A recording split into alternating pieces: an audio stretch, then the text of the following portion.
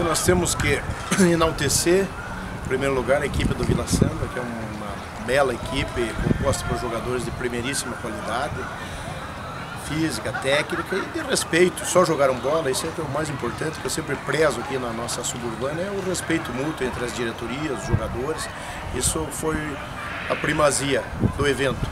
Nós tivemos uma dificuldade aí, Parabéns já sabida, Parabéns. que nós tínhamos seis jogadores que infelizmente já tinham uma viagem programada lá para Florianópolis, né? Nós oficiamos a federação que nos atendeu prontamente, fez os contatos aí, mas carecia de unanimidade tendo em vista o que foi decidido em arbitral. E aí nós viemos com três meninos que estrearam hoje, infelizmente, né? Botamos eles na fogueira. Então o que, que eu tenho a dizer é agradecer profundamente, do fundo do meu coração, o empenho, a dedicação de cada um deles. Nós batemos de frente com a poderosa equipe do Vila Sandra. É, naturalmente nós não tínhamos aquele entrosamento necessário para que a gente pudesse é, buscar o objetivo maior que era a vitória e levar para os pênaltis. Mas eu acho que o São Brás fez uma belíssima campanha ao longo de 2018, chegamos longe, chegamos a um passo da primeira divisão. Dizer para vocês que nós vamos é, continuar essa mesma toada com os meninos de 18, 19, 20 anos que estão subindo do juvenil. A gente dá sempre chance para esses meninos e o ano que vem vamos continuar, vamos participar da copinha e vamos buscar. Agora sim, me perguntavam no começo de 18 se o nosso objetivo era subir. Eu falei que o nosso projeto era 2019. Então 2019, aguarde que o São Brás vai para a Série A com certeza absoluta. Então, ano do São Brás foi muito bom. Eu reputo que nós tivemos uma é, deficiência aqui ou ali de, de posições, mas é, nós fomos um time que menos sofreu gol, salvo o melhor juízo aí, vamos avaliar as tabelas, mas nós sofremos muito pouco gols, mas também não conseguimos fazer muitos gols. Mas houve bastante consistência no meio de campo, nós temos três, quatro belíssimos jogadores, é, que é um somatório em conjunto com os demais que vamos treinar a partir de agora. É, nós temos condições de fazer uma, uma, uma equipe para 2019 de ponta.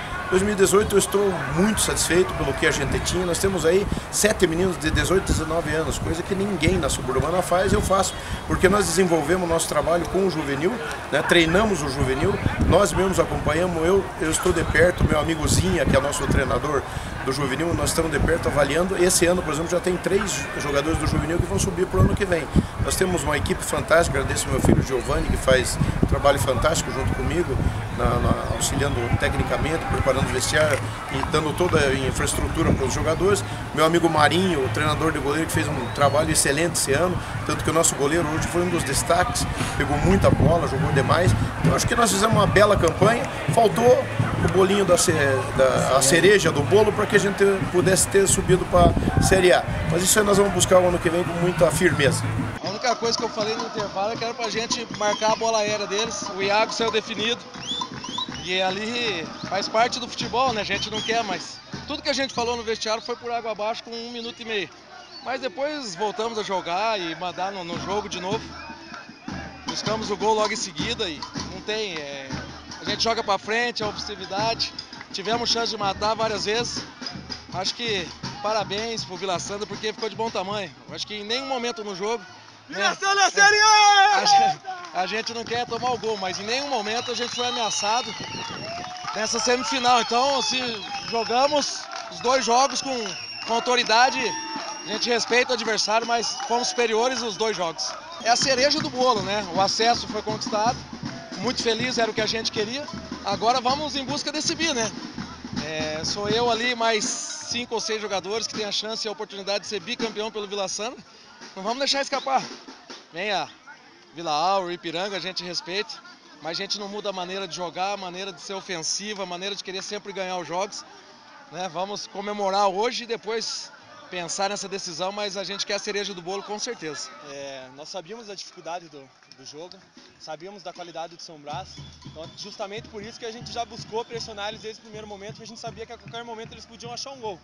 Então a gente saiu com, saiu com 1 a 0 no placar, acabamos tomando o resultado, mas como a gente já, já tinha a vantagem de ter ganhado o primeiro jogo, estava empatado o jogo, isso deu um pouco de tranquilidade para a gente continuar com o nosso tiro de jogo e no final deu tudo certo, graças a Deus.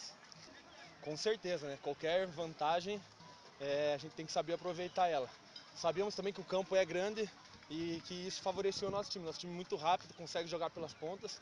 Então a gente soube aproveitar esse tipo de situação. A gente pecou em um momento do jogo na bola parada, que o Iago, o zagueiro, sabia que era feliz, ele foi feliz, fez o gol, mas no final a gente manteve, nosso estilo não se desesperou por causa justamente dessa vantagem que a gente tinha e no final acabou dando tudo certo. Show de bola. É, eu, especialmente, estou desde tô seis anos já no clube.